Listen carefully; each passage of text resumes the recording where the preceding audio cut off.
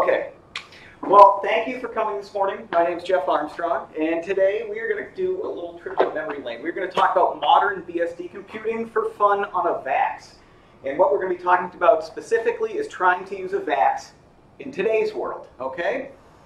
So uh, I want to thank everybody for all the help with uh, dongles and laptops and what have you. I didn't know VGA was out of fashion, but all right. So today we're going to be talking about running NetBSD 8 on a VAX, right? That is the current release. It supports the VAX architecture. Uh, one thing I did put on this slide is I did cross out retro computing. So what we're talking about is modern computing. I do not plan to use this computer as it was meant to be used in 1989. I want to use it in today's world, right, effectively. So we're talking about a modern operating system, we're talking about modern packages and software, and we're talking about modern workflow.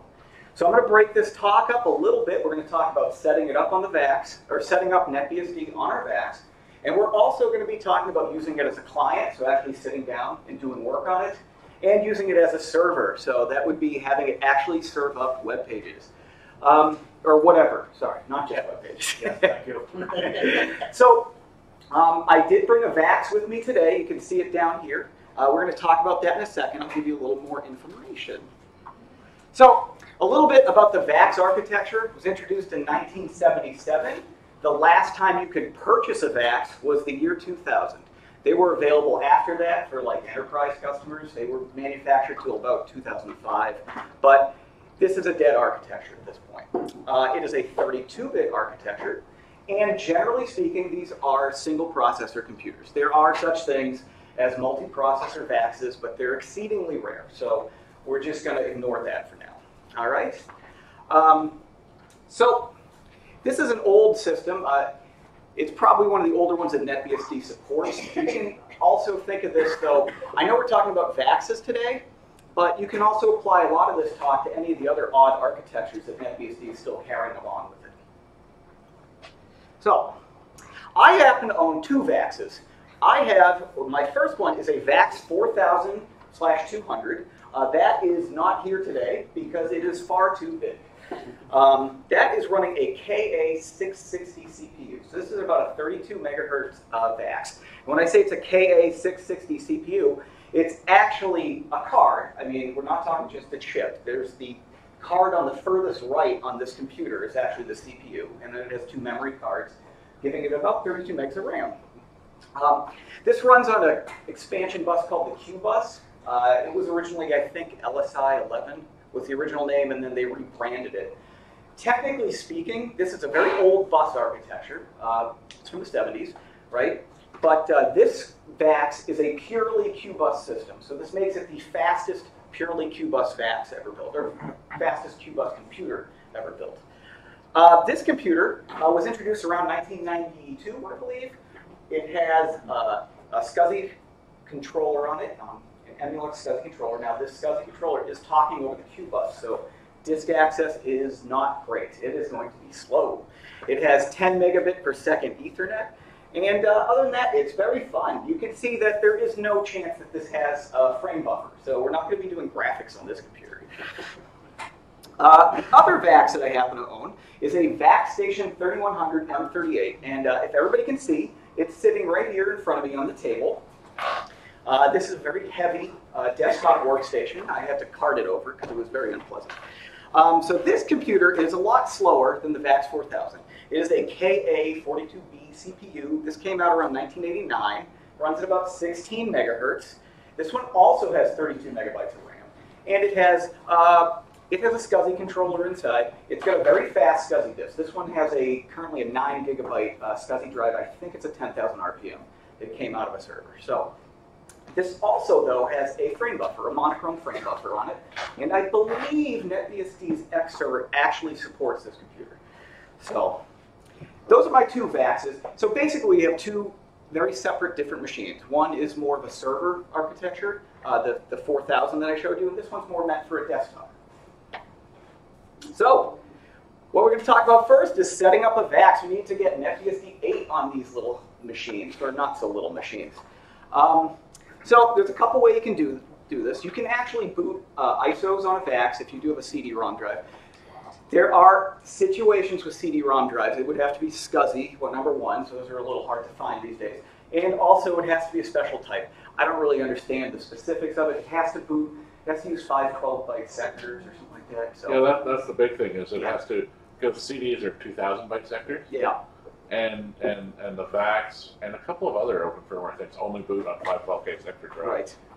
So, uh, here are the steps we're going to do to setting up our VAX, right? We're going to install NetBSD 8. We are going to bootstrap package source because we want to use modern software on this, right?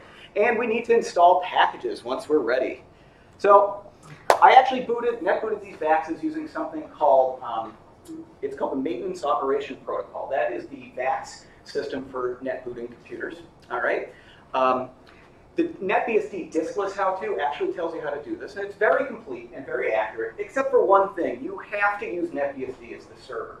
Saying you can use Linux is false, and that is actually because there's something wrong with the uh, maintenance operation protocol daemon on every other operating system except NetBSD. Specifically, uh, you, it, NetBSD uses a different libelf, and what happens is the bootloader is an ELF binary, but the VAX needs a MOP binary, so the NetBSD daemon actually converts it and uploads it to the VAX on the way. Other systems that have this uh, server don't do that because they don't have a compatible libelf, so it doesn't work. So once you get these net booted, we got to start installing packages. They have Ethernet ports, right? So this is pretty quick. Right? Download, no big deal. But this is our first sign of bottlenecks. All right. Um, one thing to note is that once you download those sets, they have to be decompressed. Now, on my laptop that didn't even work here because it's so old, it uh, I think net, installing NetBSD took all of five or ten minutes, maybe, to download, extract the sets, get it up and running. No problem, right? On the VAX, it definitely wasn't the case. So, who here has used a, a tool, a benchmarking tool called Sysbench? It's in package source, pretty simple. Okay, so you can run a CPU test. Uh, on my other laptop, I actually had results to show you, but uh, that laptop, it took 24 seconds to run 10,000 iterations of a, a, CPU benchmark test. So, remember, with this VAX, I did say we have slow disks, right? I said that the Ethernet port's slow, but guess what? That's not the problem here. It is our CPU. So this laptop over here sitting on the table, 24 seconds for that test. This is the VAX 4000 to run the same test, 19,000 seconds. So it's approximately 800 times slower than this computer. And you can see while it's doing this, installing the sets, that the problem is not the uh, disk throughput or anything like that. The problem is actually coming down to decompression. So now this VAX Station 3100, I did mention, is slow. It's slower than the VAX 4000. Let's see how long that took. 45,000 seconds just to run that one test, right? So we're up to, what is that, 15 hours to run this test? That took my laptop 24 seconds. So are we starting to understand that these CPUs are not a pleasant experience to deal with these days, especially on a modern computer? So I did install the sets, took a few hours on both of them. This one in particular had a lot of problems with NetBSD 8. I, I'm not sure why, but we did get it up and running. It could be that the computer's a little flaky. These are old machines at this point, so. So the next step after we do get NetBSD 8 going is we need to bootstrap package source. We run into a new problem. We have to extract package source. I bet nobody thinks of this as being a problem. So on the VAX 4000, this took, as I could, I'm showing you here, 50,000 seconds, right? So we're talking 10 to 12 hours just to get package source extracted. We haven't done anything at this point, right? There's been no bootstrap process or anything like that. We still haven't installed any software on this computer. This, preparing for this talk, took weeks. that's not even an exaggeration. So I want to thank the conference organizers for giving a lot of leeway on how, uh, how far in advance you're accepted. So let's bootstrap package source. Here's some more results from the VAX 4000. You can see that this took two days to bootstrap package source. This is getting really unpleasant, right? We still have not installed a package. so you're starting to see some of the issues here. It's very difficult to get these computers up and running for doing some modern computing, right? So let's talk about using this computer now that we got NetBSD kind of set up, right? We're going to need to install some software, and I want to use this as like a workstation, like doing my work on it, right? So I'm a software developer by trade, so I have a few things that I expect to have working on a computer that I'm going to do my work on, right? So basically, there's a few things I'm going to need, right? I'm going to need a web browser. I do a lot of looking things up as I work, right? Uh, I need a text editor. I have to be able to actually program on this thing, right? I'm going to need some languages. So there are a few languages that I do use, and I want those on here too.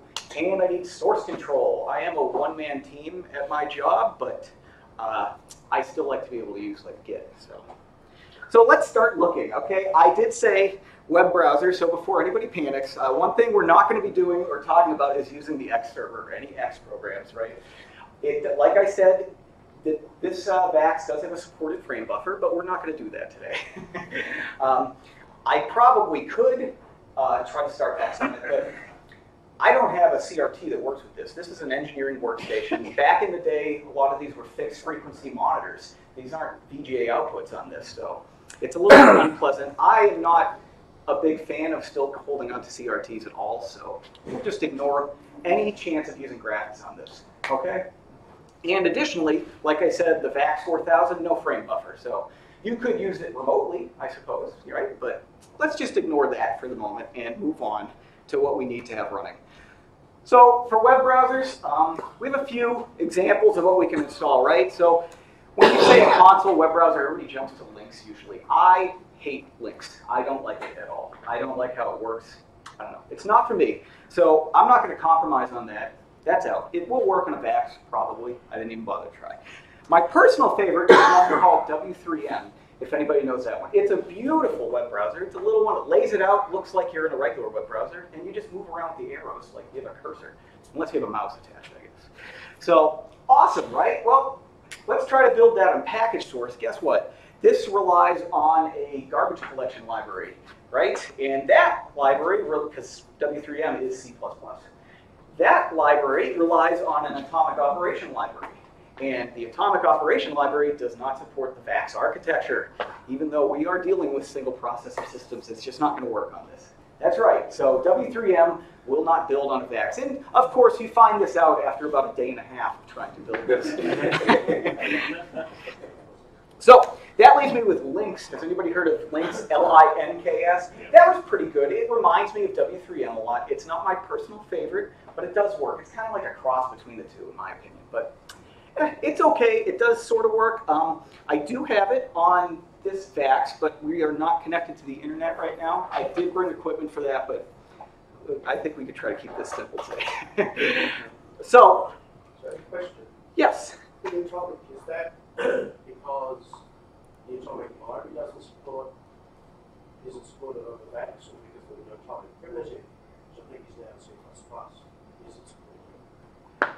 Good question. Uh, my guess is the library doesn't support the VAX. It was pre Yeah, I, I'm not. I don't know. Again, I'm not like a. I'm not a kernel developer or anything like that. I don't maintain any package source. I'm just a user. So when this doesn't work, The good news is it might be fixed. The bad news is it might be using a bit of C++. well, we're gonna we're gonna get into a little bit about fixing these things that are broken on this. so we do have links on here. Oops. Uh, this is just NeoFetch if anybody wants to see what this computer is running. So it's going to have to think about this though. This is a tough one. I was concerned about terminal type and what it's. We're okay. Don't worry about it. Is that Uh, a stereo connection? What's that? Connected via stereo? or- Yes. Hmm, quit. So we do have links running on this. I don't have any web pages, so let's move on for now, okay? All right, anyway, let's go back to this. So links does work. I do have a web browser. All right, not bad. Okay, it does start. One thing, when it was drawing the screen like that, we are over a 9600 baud serial connection right now. So if you were to telnet into this, which is also unpleasant, um, it would be, it would work a little better. So, so No, I said page. You can do SS if you can. we'll talk about it. so, um, you know what? So you do mention SSH. Let me just show you real quick what it is like to um, let's just uh, super user into this, okay? So this is just sitting and waiting. right. So you're starting to see some of the problems with maybe. Well, it's accepting shell, and, no, it had to look up the password, so you haven't even got to accepting shell. Mm-hmm. Okay, so it had to accept login.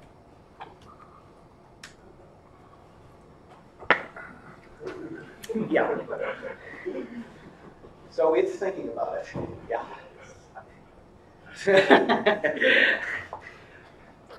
We're almost there, right? You know, this, this, all this shows is how big and slow our code.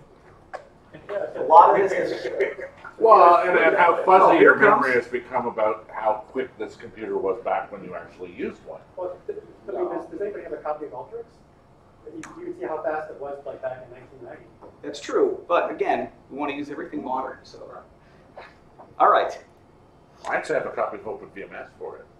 So for text editors, um, I just chose two. Uh, a lot of people like Vim. Guess what? That runs fine on here. Okay, not not very exciting. It takes ages to compile. I think Vim took me two or three days.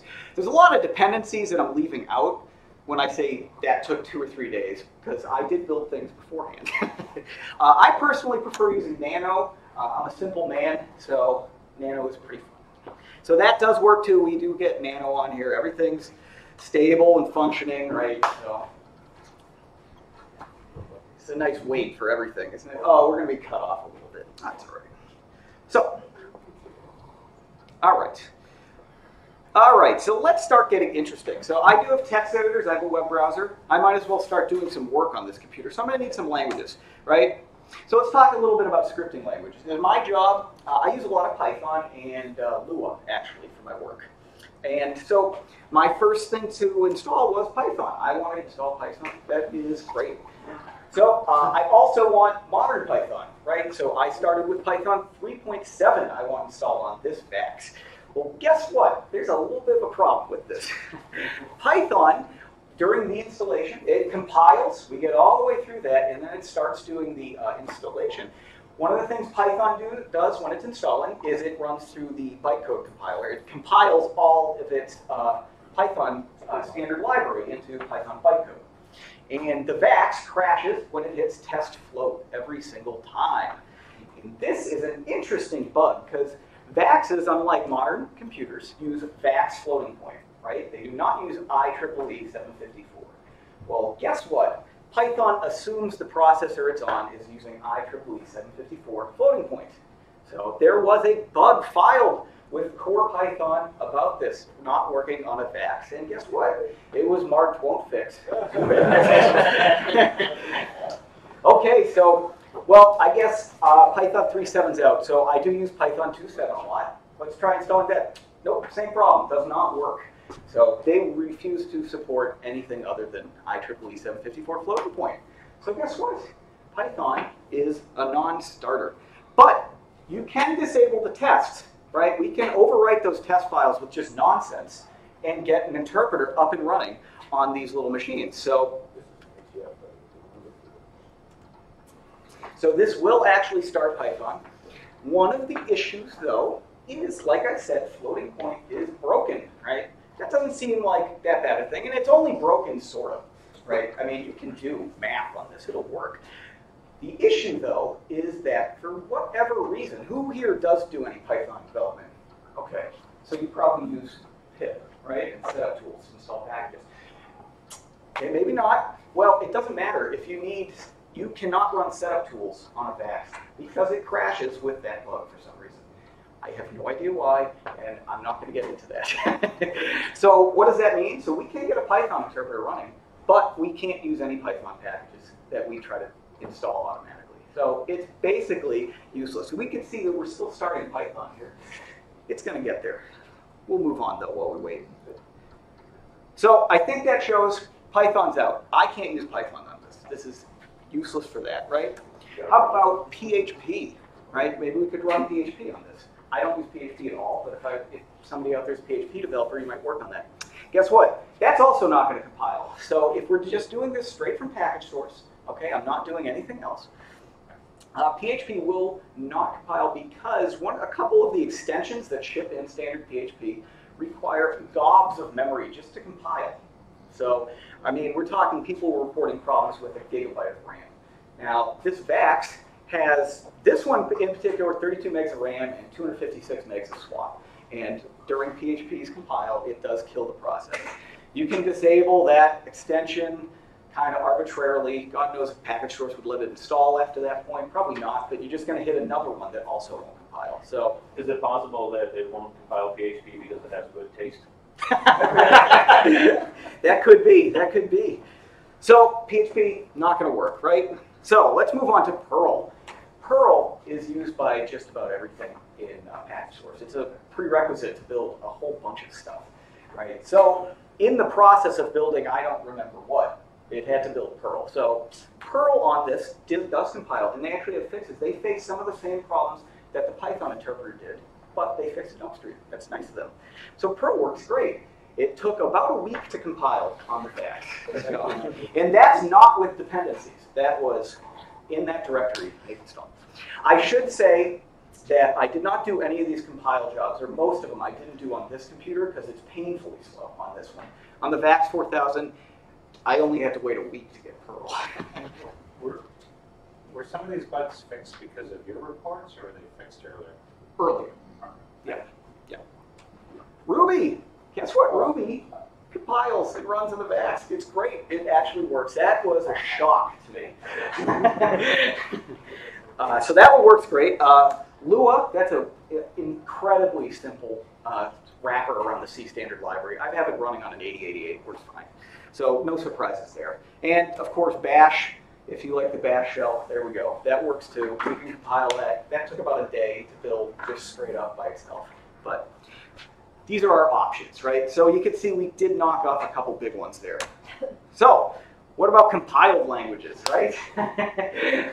so uh, NetBSD ships with GCC 5.5 on the VAX. We're pretty architecture limited here. I do not believe that GCC supports the VAX back, uh, backend at all anymore. So this is on NetBSD's developers to keep this platform chugging along even slightly. So the other problem with saying that is like, um, I can't use modern GNU Fortran on this. I do a lot of Fortran work too on my job, and that's not going to happen. And trying to compile GCC on a VAX would probably be uh, pure misery.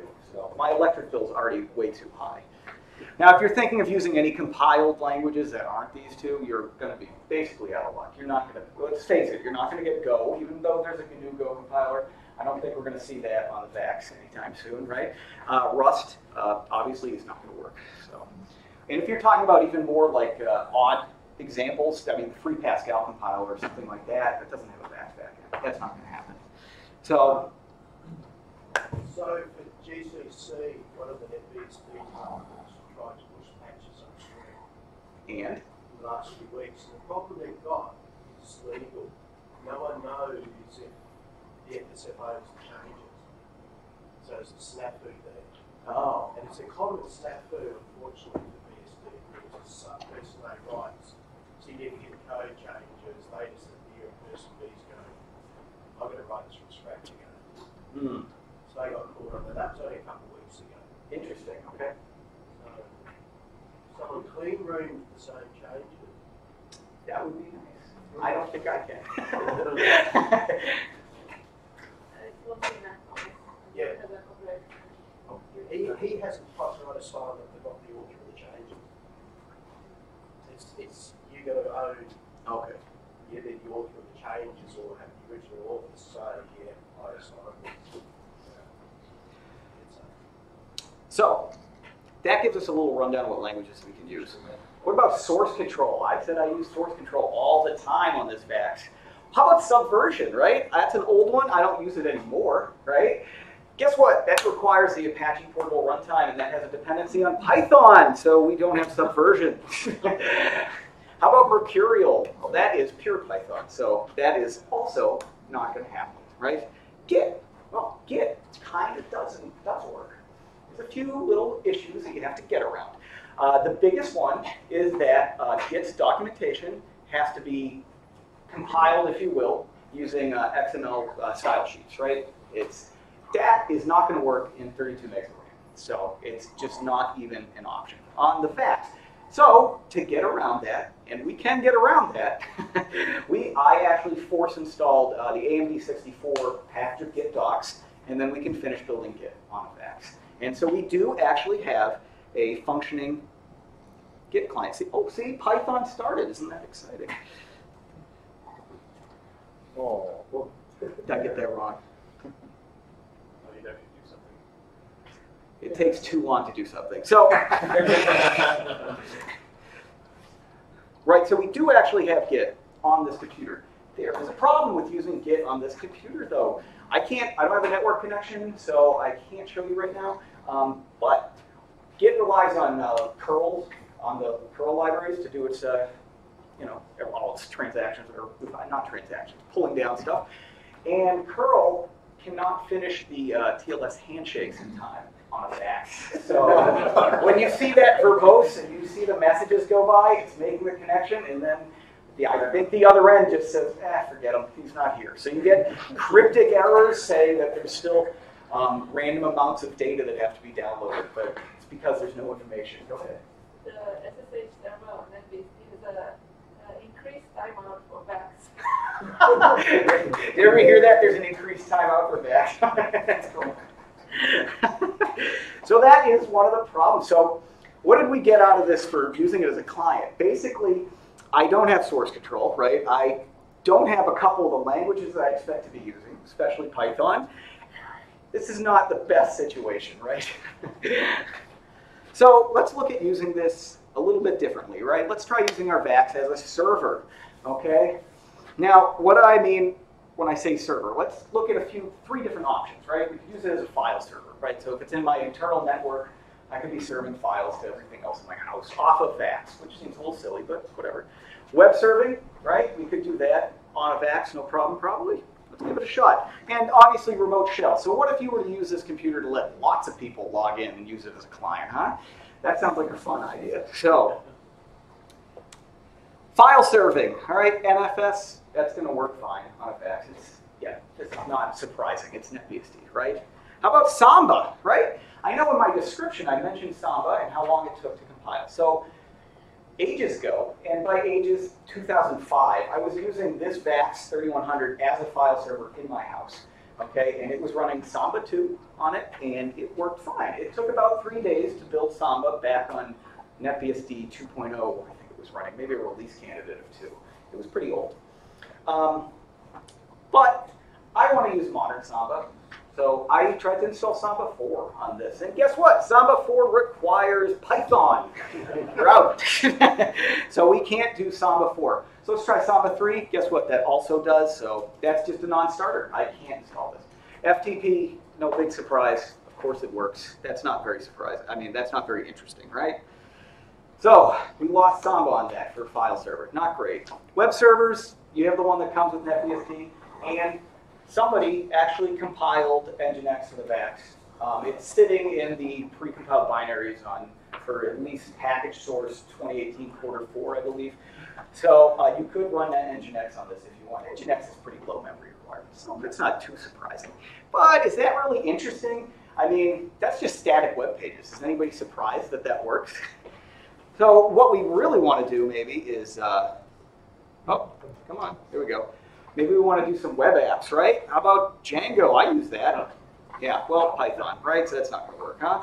How about WordPress? Oh, we don't have PHP either. How about Ruby on Rails? Oh, you can run Ruby on Rails. It is super slow, and it's going to require a lot of memory. So I was getting um, the process killed on my VAX 4000 for memory just setting up a new Rails application.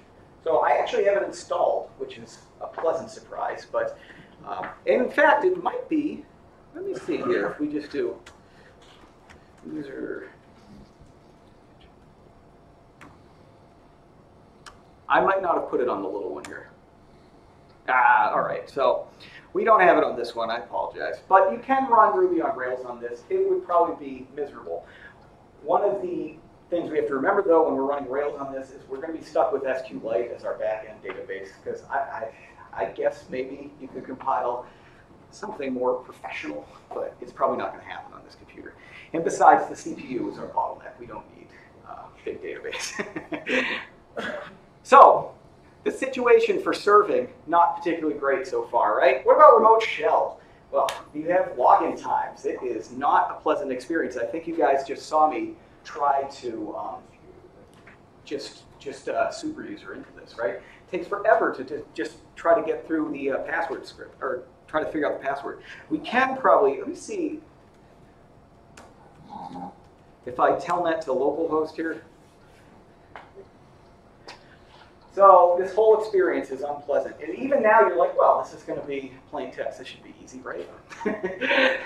so, oh, okay. So it's going to try to use secure login, right? This is not going to go well. I always forget. So I never connect to it from another NetBSD machine. I try to do it from Linux, which doesn't support this, which makes the whole process a lot faster. so I don't know uh, if you guys have very patient users, but I mean, we haven't seen the password prompt yet, so this is not what I would call a fun experience. This whole system's compiled in shared library. Uh-huh. all right, all right. We have a chance. Okay, well, I guess I will. so, you're going to run into a lot of problems with like um, processing power on this, just trying to log in, log in times. And the memory limitations are catastrophic. All right. Uh, uh as an example, when I'm, I usually when I'm building with package source, uh, I'm running uh, Tmux, right? That works fine on the VAX as part of NetBSD's base installation, but uh, that's consuming about when it's just displaying. I'm using about 15% of the processing power on the VAX 4000 at least, and you're using you're already consuming five or six megabytes of RAM. So this is just not feasible to have multiple users doing this, which is a shame because, for example, my VAX 4000 has serial port support for 24 uh, serial terminals built into it.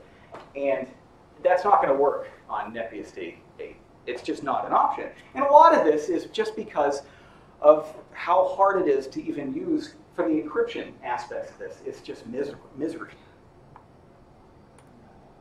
So, is the VAX still a feasible architecture? Well, clearly it's not for everyone, right? In fact, for me, it's not for me. I can't run Python on it. That's a killer for some of the work I do, right? And it's going to require a whole, whole lot of patience. I mean, this is just slow. If you need to install a package, this is days upon days of waiting for it to actually build. It requires a lot of patience. So it's just to do a very basic task, it's just going to take forever. Oh, and we went to the beginning for some reason. Oh. I don't like you. Sorry. You okay with that? so what what are the where can we improve things? Well, I mean, oops. faster cryptography would be nice. Let's face it though, what are we going to do? This processor is what it is. We're not going to, and we want to work in a modern world. We can't use 1990s uh, style cryptography. That's not going to do anything for us at all, right? So you could maybe, some people always like, oh, why don't you hand code a, a VAX assembly cryptography library? What are you, what are you going to get? It's 5 or 10% better speed out of it. That's not going to do anything in this situation. If your cryptography runs fast on that machine, then it's not very secure. Exactly. I mean, it might be secure on that machine, but not on anything else. What about some of uh, NetBSD's default actions? Okay, one thing that is a killer on this computer is make mandb on a default install. That is a daily process. Runs in cron every day. You know how long it takes on this computer? About five hours to go through it. So five hours every day, the CPU is completely consumed trying to do this. You can hear the disk roaring inside as it searches files. It's not pleasant. Uh, things like that. Um, the package uh, package source uh, administration pass, I think it checks for vulnerabilities. That's also daily, and that's not pleasant. That also bogs these things down to make them useless while it's trying to finish that up. So things like that, maybe on these older architectures, probably shouldn't be daily, especially since I'm not getting any new uh, man pages in a day. Is Postfix start? Uh, It, it's a question more of why does it start? PostFix? Yeah. I don't think it, I'm not sure. I'd have to check. On this one, probably not, But but don't want it to stop. no. But it does. But I don't know what this one's got running right now. Not much happening Okay, there. that's very good. Sit down here. Okay. Well, gonna get through. You can see top is pulling what, 10% of my CPU power? Oh, It's dropping down now. So a lot of those default actions probably need to get fixed. What about floating point emulation? So that was one um, idea I saw about trying to fix like Python on the VAX, since upstream has literally no interest in actually supporting it, from my understanding. Yeah. Uh, they do have some uh, conditional, if you have the right kind of floating point, it's possible. Even though they think they know. I I've contributed to Python a couple times, core Python, and I find them to be very unaccepting of things that are off the norm. They are not interested in supporting things that aren't Windows, Mac, and Linux, and even Windows is questionable. They get a little uh, they get a little angry if you try to do anything like that. So they're not even interested in alternative compilers a lot of the time, let alone in architecture. So. A weird question, you tried MicroPython, this is more angled towards embedded space. I have not tried that, no. I was trying not to make any compromises on that one. I wanted actual, yeah. My way or highway. So, but no Python breaks a lot of things, right? We have a whole bunch of packages that just aren't even gonna happen on this computer. So that's kind of a bummer. If we emulated like IEEE 754 floating point, it would be slow. I mean, we're already slow, and now we're going to do floating point emulation. On the other hand, I could get things to work, like Samba, which would probably be miserable to use too, but you never know. So a lot of you might be saying, does this matter to anyone? right? So how about uh, anybody on exotic hardware? Yes, it does matter to you. So the VAX is, at this point, probably considered exotic hardware. Uh, at the time, it wasn't. I mean, this was a lot of benchmarks used to measure themselves against VAXs. So you should really think about this in terms of like if you're on some chip that's not AMD 64 or uh, let's say maybe ARM, then you're in a little bit of danger here. So, uh, and you might be saying, well, I'm using I'm using this chip. It's it, they still make it. It's new. Um, you know, it, there's no danger of it disappearing. The VAX is ancient, right? Well, I mean, things like that happen. Uh, if anybody's ever heard of like uh, the Amiga One systems, they're uh, next generation Amiga hardware. You've got two. Got two. Okay. I don't know if you saw, they have a board that's currently being beta tested, the Tabor. I've got one. You have a Tabor. I am actually kind of jealous. Yeah, runs previous state. Very nice. The concern, this is a board that's being beta tested still, right? GCC announced they were dropping or deprecating its floating point unit on this chip that it uses for its CPU. It's brand new. It hasn't even, I can't buy one. so you have to think about this, like these upstream projects, when you're on these strange hardware platforms, they might not be very receptive to when you say, hey, you know, you broke my computer. A lot of them are going to say, I don't care. So, what about everyone else? Should they care about this? Does this matter? Yes. I think we've shown that NetBSD 8 is pretty slow on this computer, if I'm correct, right? The default install is a little bit brutal to use. Um, I did have, like I said, NetBSD 2 running on this. Felt a little snappier. Of course, we weren't using a lot of encryption stuff. It Used to be the default, like uh, MakeManDB was a weekly process back then. I did look that up, and yeah, that was nice. But this does kind of show that uh, this operating system is getting a little bit bigger, and a little bit slower as we move on. I understand its features, but you should keep in mind that one of our benchmarks, somebody once said, I can't remember which project it was from, but we keep the VAX working because it gives us a warning if our code's getting a lot slower, right? So that pretty much wraps up the talk. Uh, here's some of my contact information. Um, I did want to say, uh, what did I want to say? These illustrations in here, they actually were from a book by Digital Equipment Corporation, uh, Introduction to Basic. It's completely uncredited, and I always like the pictures, so it's not like a, uh, um, it's not like a uh, copyright violation thing, I hope, because they don't exist anymore. Somebody owns. Somebody does, but so uh, also I will point out um, the web address at the top of the window right there, where I'm serving this from. This is the VAX 4000 that served up this presentation in my basement.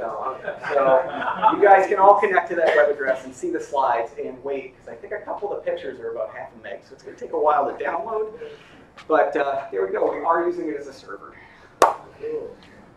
Does anybody have any questions? Uh, have you been able to run it on uh, SIMH or Charlotte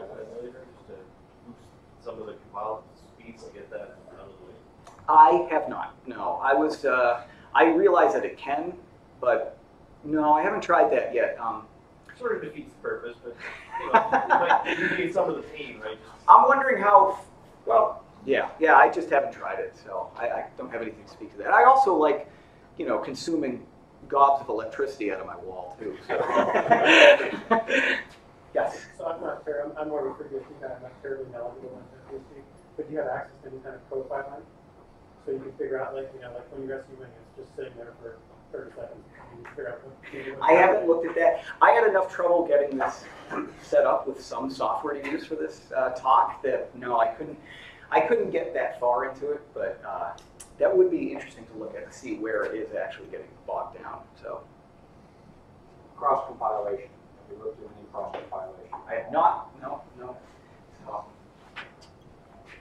So, um, what about PCC alternative compile? PCC, uh, We have LCC, PCC, does something. does, okay. I didn't know. I didn't know that. It Actually. has an eleven, yeah. I mean, that might help with something. GCC is a bit of a hog on these computers. So. It might take a while to bootstrap GCC too. I don't even want to think about how bad that would be. So, trying to bootstrap GCC. I'll come right back. Go ahead. Yeah. So do you have, I'm wondering if, speaking from compilers, I'm wondering if the back ends up for these platforms may have bit knotted and they may be producing less than optimal code. I'm wondering if, if you make, if you have an old compile option for some ancient, some ancient binary, you could compile the same, basically, you know, the nineteen ninety version of whatever it is and compare X and Y, compile with modern, compile and compare with the old. Right. uh, The only thing I'd say about that is VAX is a bit of a complicated instruction set. I mean, it's that is the One of my college classes was back assembly programming. yeah, yeah. So it's very rich, right? so I would be shocked if modern GCC is taking any advantage of what it possibly could do. I guess. is in GCC 2.7 times, uh, so where this machine was smaller. Um, the C preprocessing uh, part was more or less like just return the instruction set and nothing else because it was so fully featured. Oh, interesting. The um, I actually delivered software on this back in the day. Um, we had a 5100, which I still have. Um, GCC was because we delivered satellite imaging stuff. We were quite concerned because we wanted GCC on every platform, delivered on 34. But it was well known the VAX, the GCC was a lot slower. So you might actually get it the compiler. Yeah. Would the compiler run on, uh? NetBSD, I think, does support Ultrix binaries. I'm not It's like if, if you got the Ultrix installed and pull that compiler out, you might find it a lot faster. It, I it don't was, have it was, a, it was double in some, it was double in some cases. It's Yeah. I I saw the same thing on Alpha at the same time Yeah, frame, early nineties. double in some cases. Mhm. And that could make a difference for you. Maybe. Have you searched for the newer VAX models probably have IEEE seven fifty-four support? When they went into the six thousand class memory that was added as, as a, Oh, was it? I think so. Um, well, well, no, it- it's, you have to remember that even OpenVMS Alpha used different microcode to put the damn VAX IEEE or the VAX floating point onto the alpha. That was to put the backwards compatibility in so that you could run the old software that was compiled with the old thing. That's what I'm thinking, it was the later, if, you could run either IEEE, so there were some you could run your floating point implementation. But I think if you look at like a six thousand or a nine thousand, I, I, you're not gonna have a nine thousand, but just, So To six know that, thousand, VAX nine thousand is a quote mainframe. Yes, so I think those are, that's an example, I think they ship with four CPUs, Yeah. if I'm not mistaken. They, uh, if you got a later one, they were known as the, that was the Aquarius model, water cooled, leaked everywhere, terrible machines from what I understand, so. some, some people know, may know, that Western Regional Labs, that, that world, when you access that, you run originally a six thousand, and then it became a nine six fifty. So I don't have access to anything more powerful than these two, so. I just say I'm incredibly impressed that you managed to get this far. And uh, also because I think at the end of GCC four, which I'm probably correct me if I'm wrong, VAX was deprecated by GCC and then Matt Thomas re-added it in the five era. Okay. I think that was the, the so, yeah, five point four, five point five. So does that mean it'll be in GCC seven I still? haven't seen that. Yeah. The Shadow Man is busy speaking nine. Santa Claus. Okay. He's active, he's actively trying to do something. Well, that's great news. That combo. He's, he's submitting patches. Yeah. Um, Sorry, uh. Go, go ahead. Yes. can you get, take out the bug number and? I can, I don't, I uh. feel like shit's there. If you go to what bugs.python.org, I think if you just search for VAX, there's, that's the first one to come up. It's marked won't fix, and there's a lot of back and forth, people getting annoyed and upset with Python. Would, So, would they fix it if somebody handed them patches? Yeah, So- no, Yeah. I, there are patches, I believe. Uh, Not, well, I might be wrong, but saying you have a patch for a bug in Python does not mean they're even remotely interested in accepting it. I have a Well, they- little bit of, that. I'm a quite little the argument and discussion If there's a their working forum. patch, it can go into the NetBSD package source. That's correct, that would be true. I'm not, now that I'm th- talking about it though, I don't think there is a patch. I think it's just a more of a general list of work.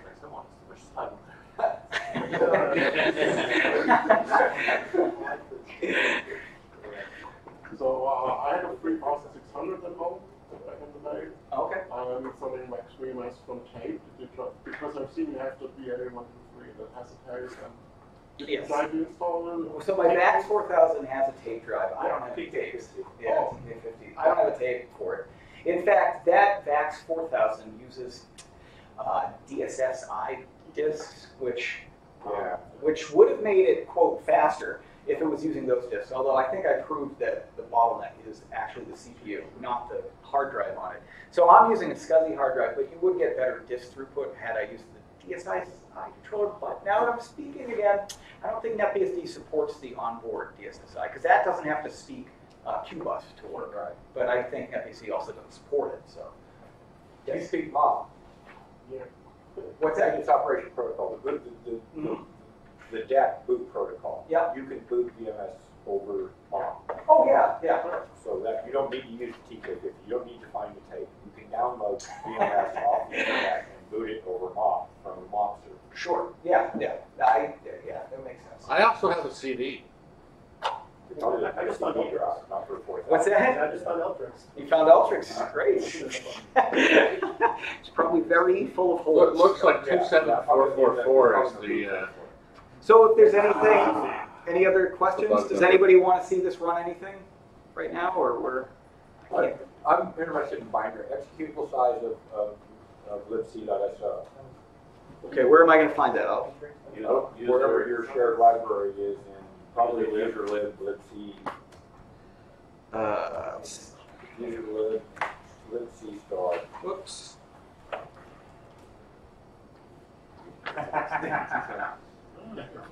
I'm sorry. Uh, yeah. Oh, Let's yeah. see, dot star. Yeah, libc dot star. Yeah, yep. Try that again. Well, those machines really teach you to. Uh, yeah, two point six. Well, that's not it. it. What's the SO? It's pointing it to. It's under user, it's under slash lib. All right. Oh, yeah. Do you want me to find it here? Yeah, Yeah, just, just recall and delete user off your last command.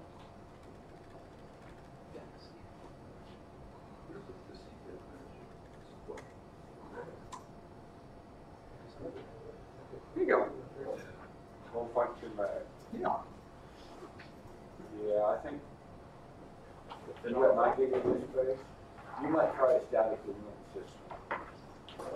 It's gonna, it's The gonna, binary size, huh? the trade-off is the binary size. The binary size, you need, need a lot of disk space, but he doesn't have to run a runtime linker every time he executes something. I think that's the This issue. kind of CPU is so damn slow, trying to do runtime linking is just crazy on it. Because It, it in the seems day. like- like you have a lot of volunteers. Everybody wants to stay, keep running, and set up my VAX. Yes. That would be Yeah, but the far side, the far side of that is it doesn't have a lot of memory, and shared libraries might be helping them with memory substantially. So the the equivalent libc, the equivalent libc are AMD sixty-four is five point four meg. Huh? Um, equivalent libc. I'm curious what uh, Perl AMD was like 64 starting is off. 5.4 Perl? meg. What should I, what, just Perl, should I just type Perl? dash E. By the way, for comparison. Oh, dash E, what do you want, Echo? Yeah. Sorry, For I don't comparison, do, AMD sixty-four, oh, libc is How am I doing? one point five. It's printed hello world. oh, sorry. Jeff, uh, for comparison, before you lose that, it's uh, one point two, and uh, modern AMD is one point five. Oh, Okay, all right. A little bit smaller. Do I need quotes? Just tell me. That's- That's what it's called. It's eighty sixty-four. you just get an error if it needs. that's what- Perl was working on. Yeah, we're fine. The person that keeps Perl working on so would like to talk to him. Okay. Is here. Oh. I'm, Huh? Andrew Fresh. He's, he's the, that, or OpenBSD Perl maintainer. Oh, okay. Make sure that Perl stays running on the back. It's one of the most painful things he has to do because he doesn't have a valve. Somebody else has to run on the test everything else. for him to back. oh, I see. Oh, yeah. Didn't actually print anything. We- Yeah, you We've gotta got a bunch of old stuff in the basement. Oh, Nothing. Okay, sorry about that. We got old stuff. I didn't even notice it myself. Well, guys, thank you very much for coming. Um, if you guys want to wait around, I'm going to turn the vax off, and that will take you forever. you're not going to turn it off. Eventually.